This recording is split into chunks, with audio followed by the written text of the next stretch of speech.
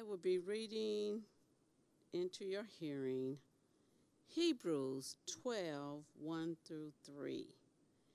Wherefore, seeing we also are compassed about with so great a cloud of witnesses, let us lay aside every weight and the sin which do so easily beset us, and let us run with patience the race that is set before us.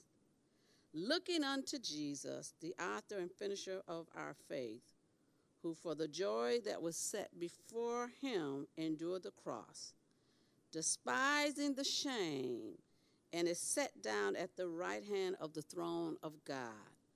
For consider him that endures such contradiction of sinners against himself, lest ye be wearied and faint in your minds. May God add a blessing to the hearing of his word.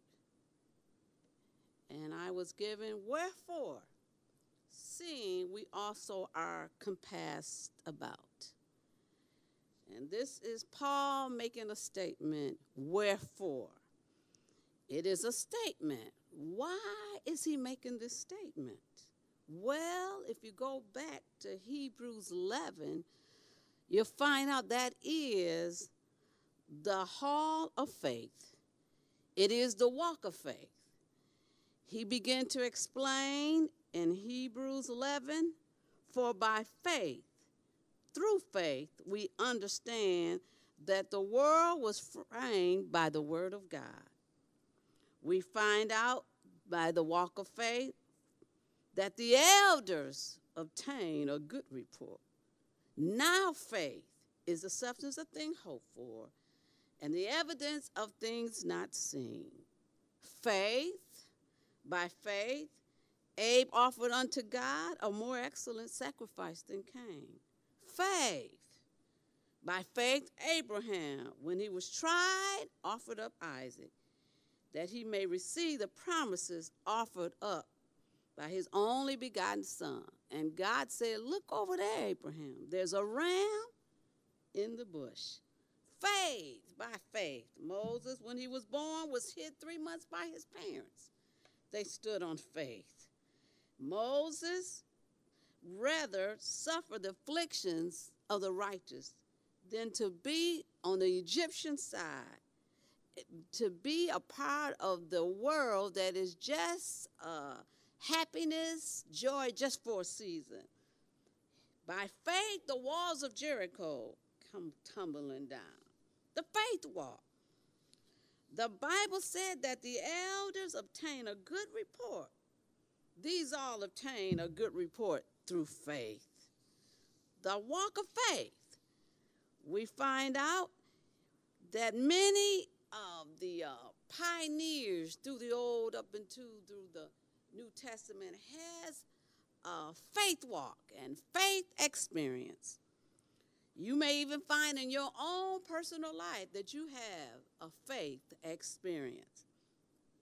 We find that Paul says here, Wherefore, seeing we also are compassed about with so great a cloud of witnesses. And the cloud of witnesses is through the hall of faith.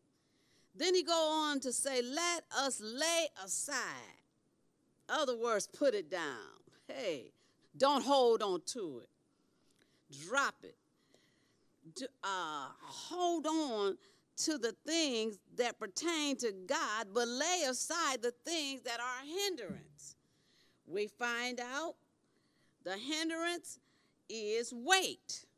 Uh, weight is not necessarily a sin, but it's a hindrance.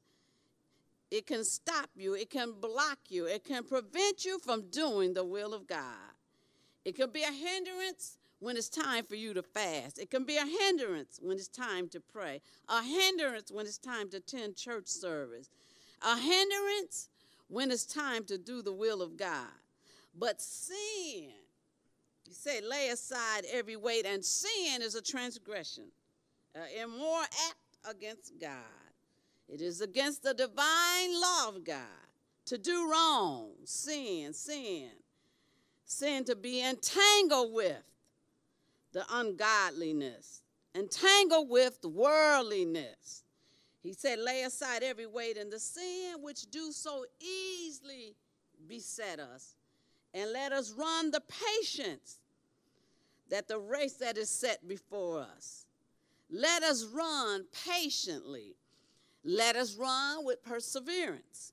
Let us run with endurance, looking unto Jesus, the author and the finisher of our faith. Looking unto Christ. Well, I thought about in this Easter season, we are looking to Jesus. Jesus, we know that he died on the cross for your sins and my sins. I find out that Jesus is the greatest witness. We have it in the hall of faith in Hebrews 11, but Jesus is our perfect witness that walked on the earth and was tempted in every like manner. I began to think about before he even made it on the earth. Isaiah called, said unto him, called him Holy One of Israel. Isaiah said, Unto us a child is born and a son is given. Jeremiah said, He's a fountain of living water. He's like fire shut up in my bone. Ezekiel said, He's a wheel in the middle of a wheel. Job called him my redeemer, but God called him my only begotten son. I began to think about the songwriter said he was hung up for my hang-ups. He was hung up for all my wrongdoing. He was hung up over 2,000 years ago. So we find here that Paul say, lay aside every weight and sin and looking unto Jesus. He's the author, he's the finisher what do you mean that he's the author? He's the beginning before time was. And the finisher, he completed it. He completed. How did he complete it? Well, I thought about, uh, I heard Tina Turner sing a song, What Love Got to Do with It. Well, I thought about God so loved the world that he gave his only begotten Son, and that whosoever believe in him shall not perish, but have everlasting life. The answer comes back on a hill far away, stood an old rugged cross.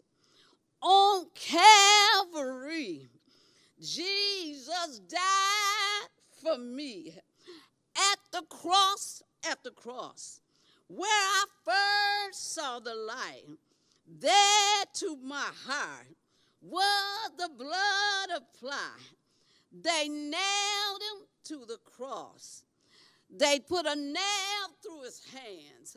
They nailed him through his side, and blood came streaming down. But he didn't finish it there.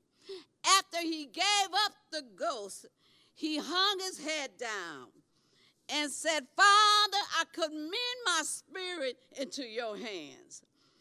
And after the third day, on the resurrection Sunday, the women went to the grave site. They went to the tomb looking for Jesus, but he was not there. He had risen just like he said. He has the key to death and to hell. He finished it when he rose again.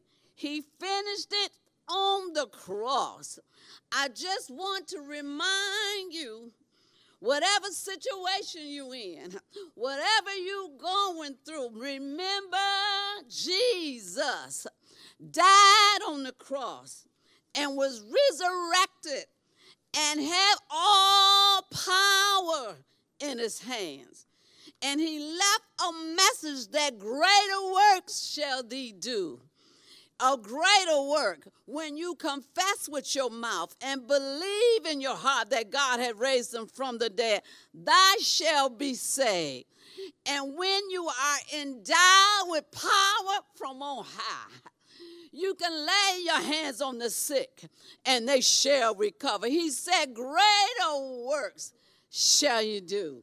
Greater looking unto Jesus and the author, the finisher of our faith, doing this resurrection season.